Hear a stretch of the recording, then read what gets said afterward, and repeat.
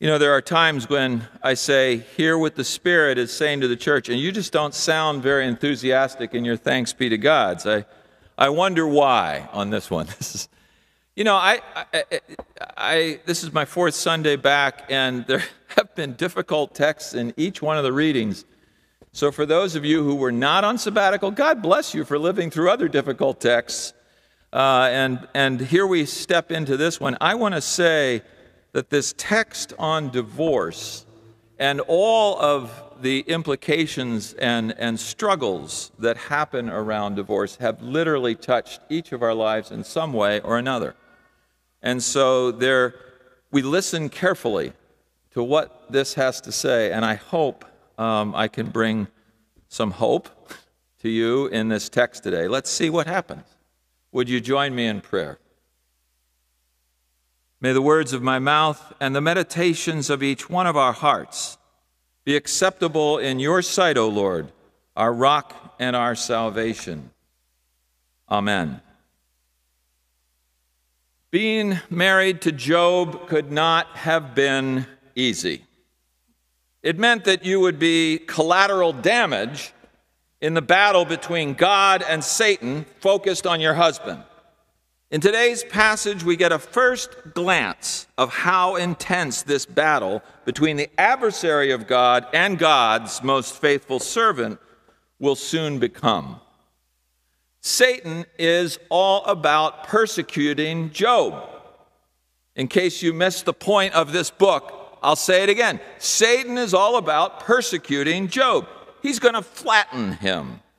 He intends to turn him and everyone and everything that Job loves into a pancake and serve them for breakfast in the cosmic battle of the ages.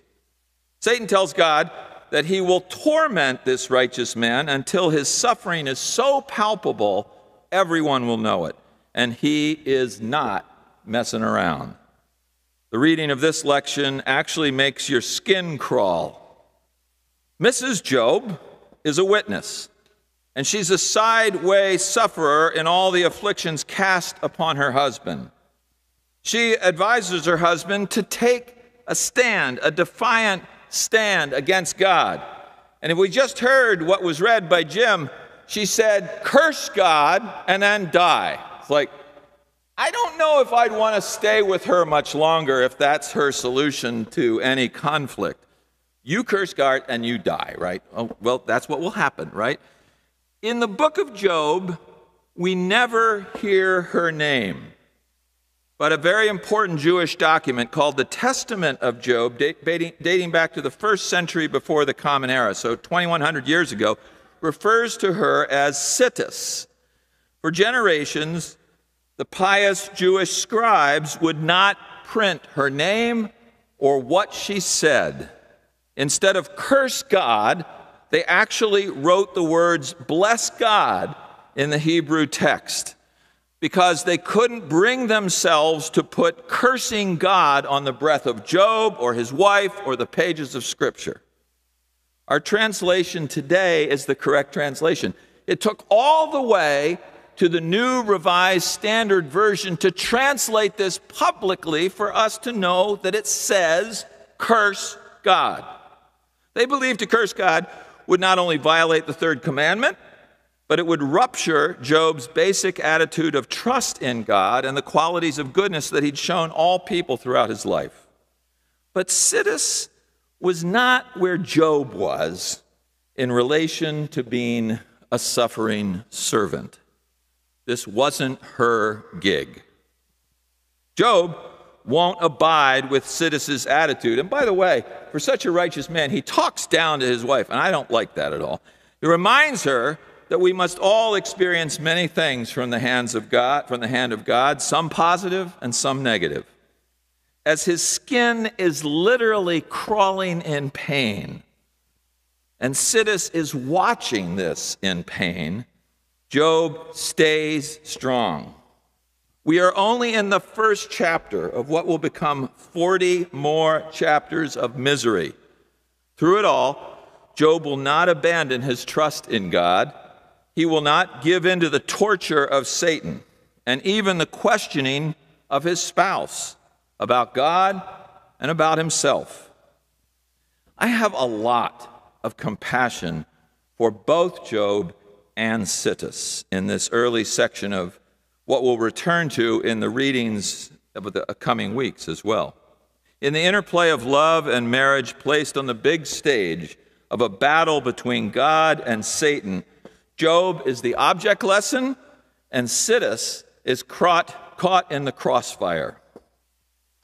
We can relate to her.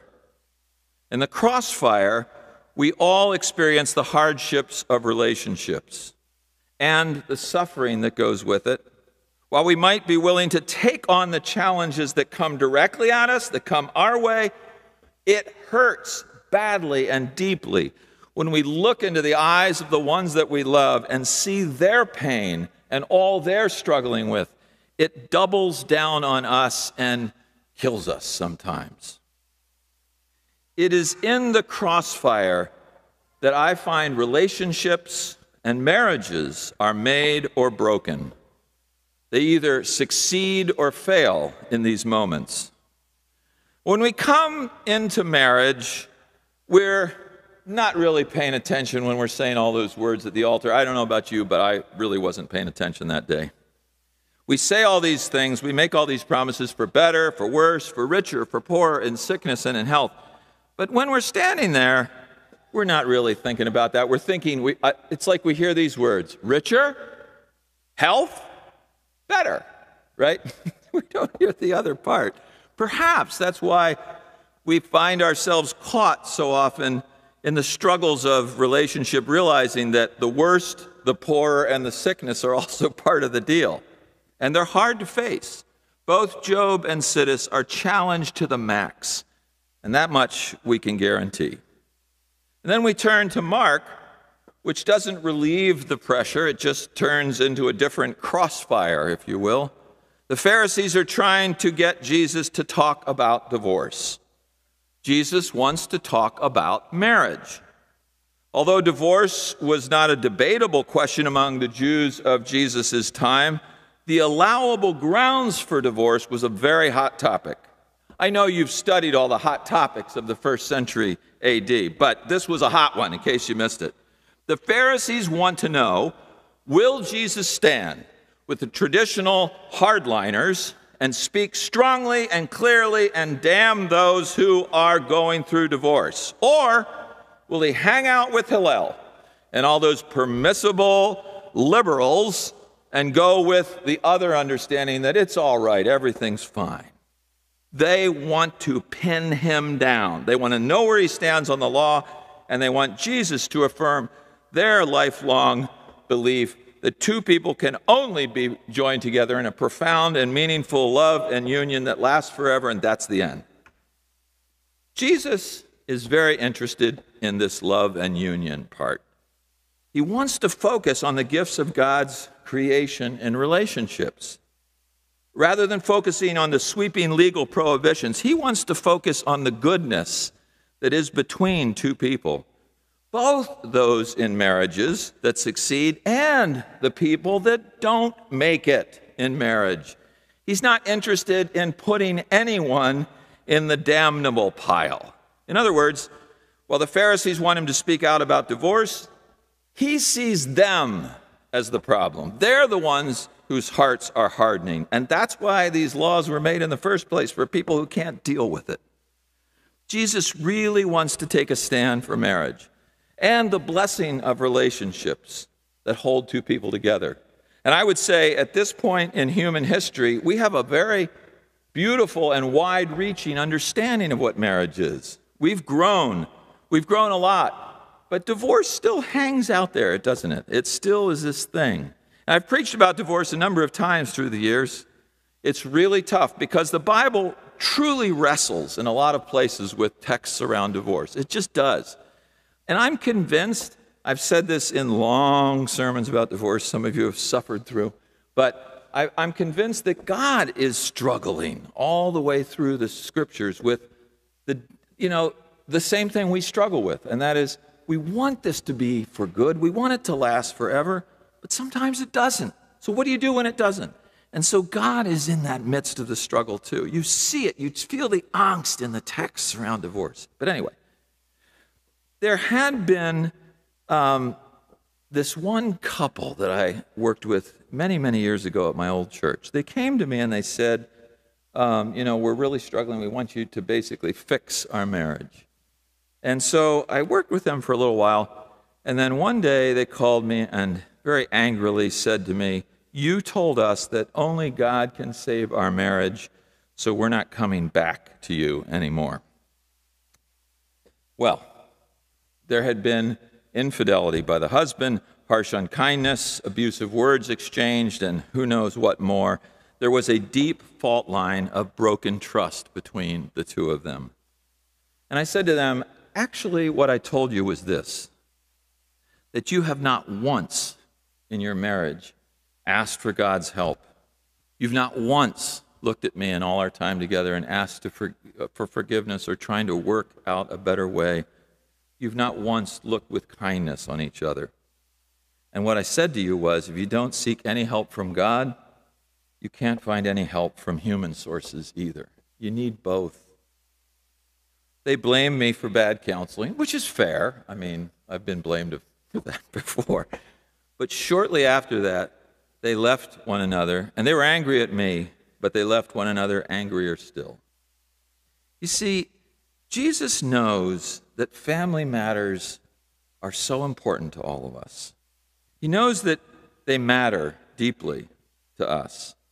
He also knows that we often lose sight of the children in the midst of all that goes on in the crossfire of adult behaviors. There's no mistaking what Jesus does next. I think this is one of the most significant moments in scriptural history. He turns his back on the Pharisees and on the disciples and sees the kids. He looks away from those who want to pin him down on legality around divorce, and he sees the children. He sees them close at hand. And the next thing we know is he's blessing them and he's offering them his love, his anointing, if you will. The disciples can't see this, the Pharisees can't see this, but Jesus knows this is a family matter too. The most important ones are right here in front of us, our kids. As much as Sittis feels caught in the crossfire of the battle between Satan and God, is focused on Job, the children of our world are too often caught in the crossfire between adults who can't and won't work things out. Jesus knows this. That's why, as the conversation with the Pharisees spin into a downward spiral, he holds the moment and he calls everyone to accept the kingdom of God like a child. Kids have no status in Jesus' world, right? They have no rights, they're powerless, they're vulnerable, they're little people who often get deemed a nuisance by big people. By buying into this narrative of society's devaluation of children, the disciples who push them away have failed to see what Jesus is really about. He's really about the children. They have missed what he means when he talks about the special blessing of kids. They receive God with openness and honesty and curiosity and clearness. They ask the questions that nobody else asks, and they do it with grace and they do it with love. They model for us what this looks like. They don't make excuses, they don't angle for better deals, they don't get tripped up with resentments and anger. That comes along a little later. But at least at this point, these kids are just who they are. In these difficult texts that deal with family matters today, I ask us to remember who we are and to whom we belong. Because we're children too. Every single one of us in here is a child as well. We are children of a living and loving God.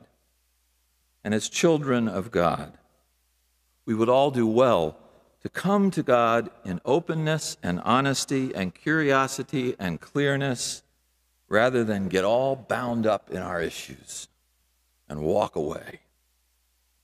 On this World Communion Sunday, Jesus is calling 2.4 billion Christians to his table.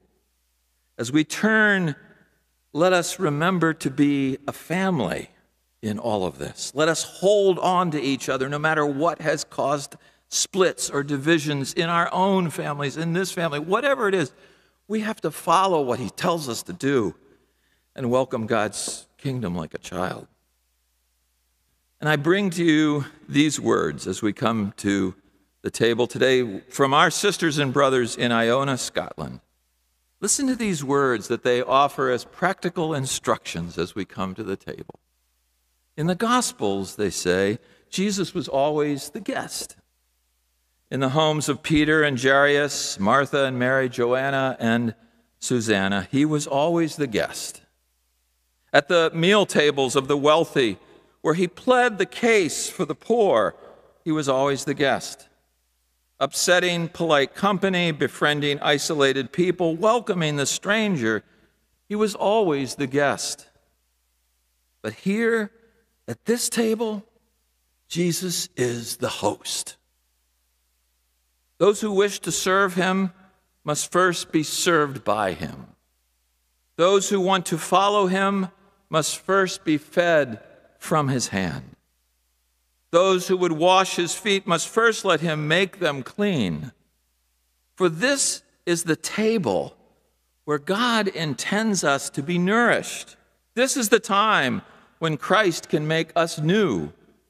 So come, you who hunger and thirst for a deeper faith, for a fuller life, for a better world. Jesus Christ, who has sat at our tables invites us now to be a guest at His. Let us remember to work out our family members matters with love and grace as guests at His table. Amen.